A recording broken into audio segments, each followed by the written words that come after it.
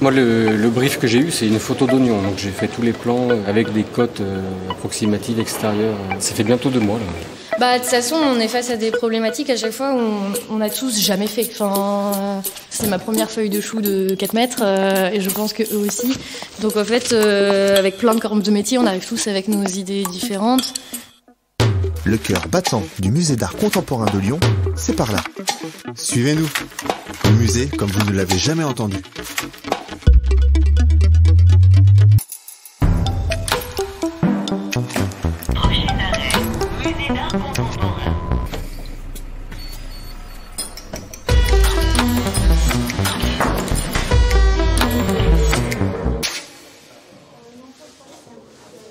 Produit des œuvres, euh, c'est une forme de terrain de jeu à la fois pour l'équipe du musée, mais aussi pour les artistes. Marie-Lou Lanneville, responsable des expositions c'est un travail ensemble et c'est vrai que c'est intéressant parce que la production d'œuvres, on ne sait jamais trop ce qu'on va produire et parfois les demandes sont assez farfelues. Donc là, ça fait rire tout le monde en ce moment puisqu'on va faire une grosse soupe avec des gros légumes. C'est pas usuel de dire euh, tous les cinq minutes euh, on a besoin de la patate, qu'est-ce qu'on a besoin pour l'oignon, on va accrocher la carotte. Donc c'est même entre nous, c'est assez rigolo de travailler comme ça. Alors là, on est dans l'exposition de Nathalie Djurberg et Hansberg. La peau est une fine enveloppe qui est une installation qu'on fait directement avec les artistes où il y a une importante production de la part du musée.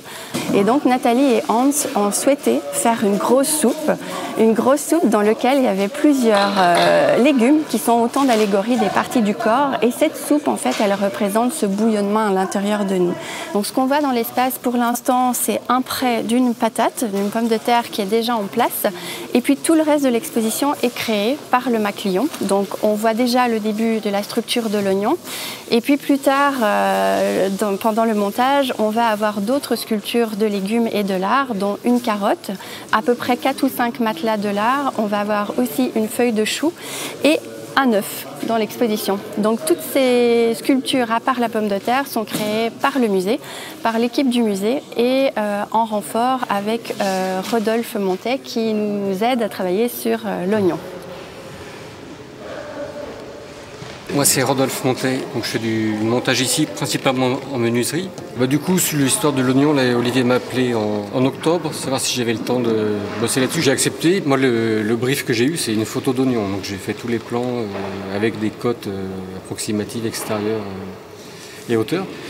J'ai montré ça à Marilou et Organe. On a fait une petite visio avec les artistes suédois.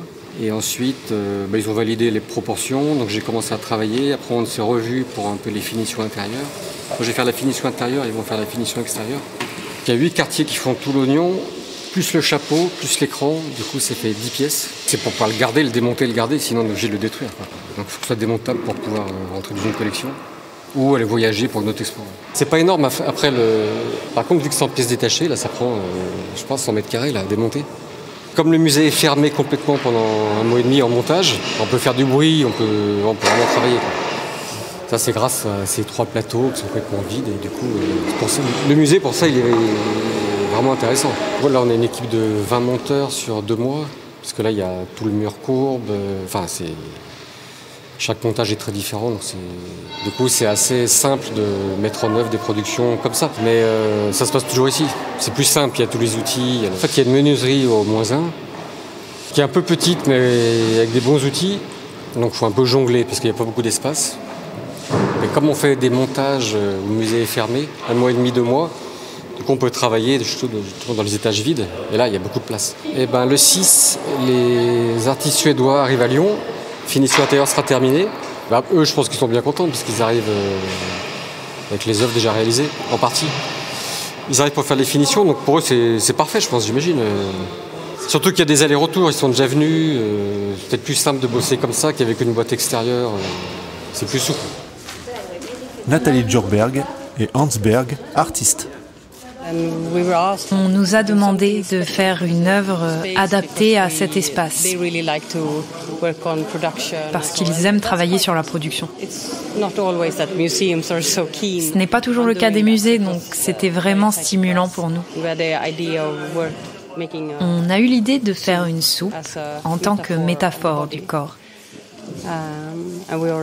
Et on avait déjà une pomme de terre, alors on a voulu faire un oignon. Et des carottes. and something uh, Le fait de travailler avec le musée nous permet de voir les choses en grand. Je veux dire, nous n'avons pas l'espace ou les capacités de réaliser ça seul.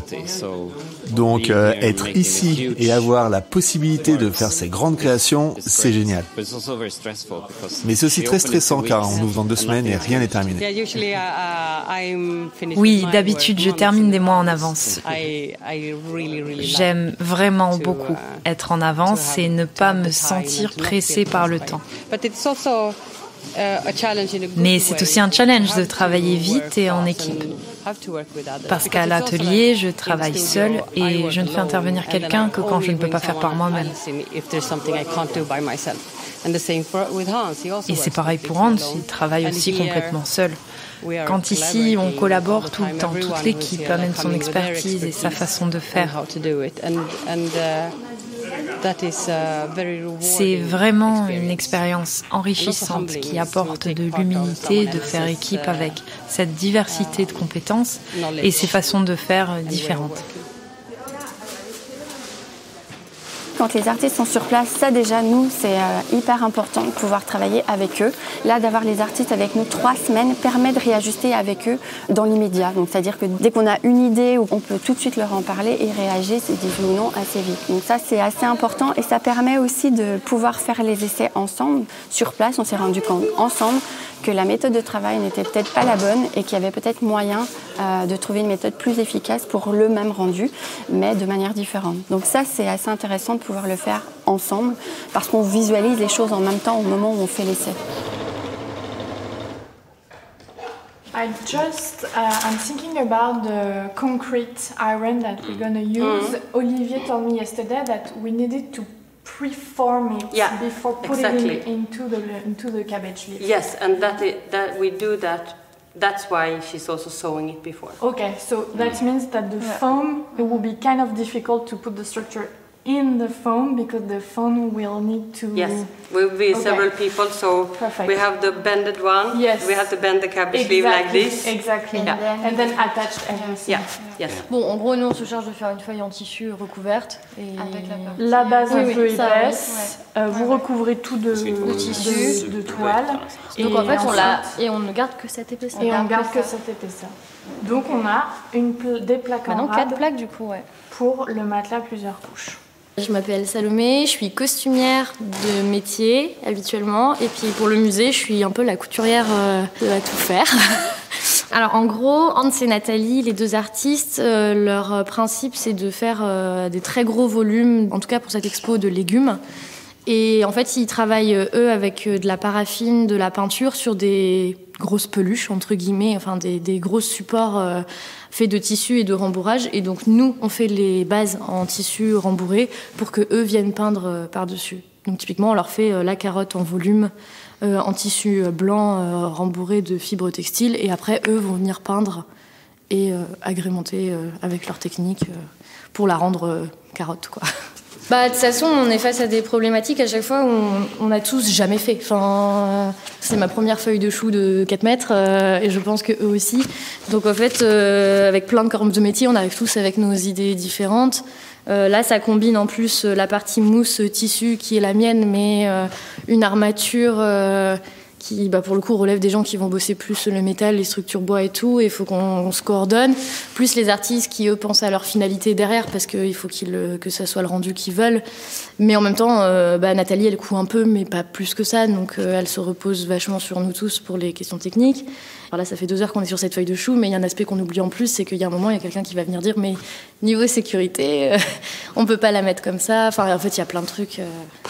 Qui rentrent en compte. Et comme personne n'a jamais fait ça, bah, à chaque fois, euh, voilà, ça se confronte un peu, quoi. Et bah, là, en fait, on a une grande feuille de chou de 4 mètres qui doit tenir debout dans l'espace du public, euh, qui est très lourde parce que nous, elle est en mousse euh, recouverte de toile de tissu et qu'il faut dedans pouvoir mettre une armature en métal pour et la faire tenir euh, en termes vertical et pouvoir lui donner une forme grâce au métal.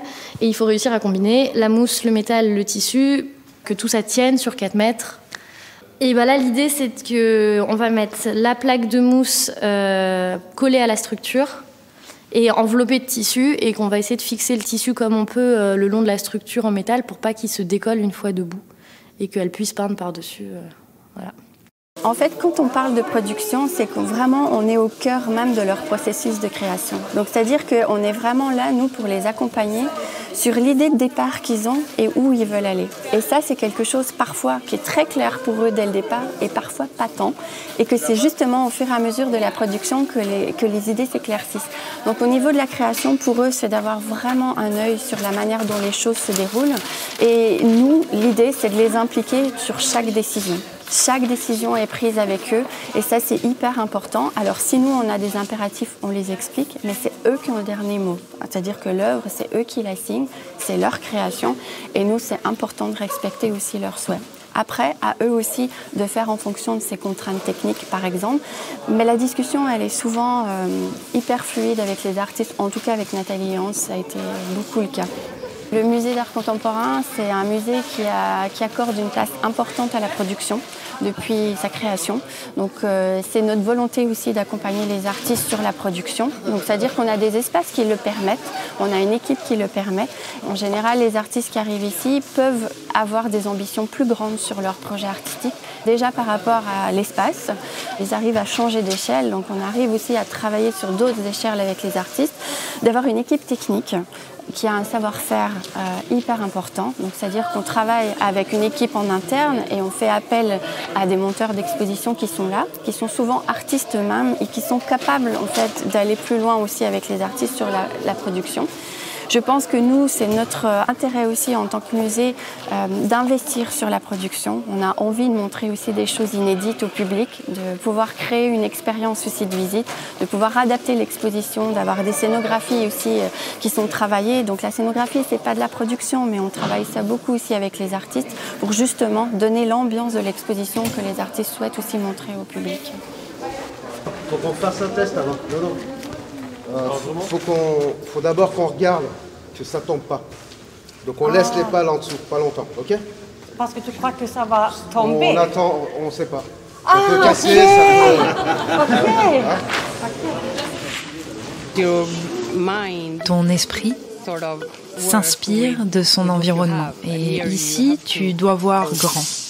Ici, il y a la possibilité de le faire. Et le fait de travailler dans l'espace d'exposition, c'est la première fois pour nous. C'est vraiment différent parce que tu vois tout de suite si les choses marchent et comment tout s'articule ensemble.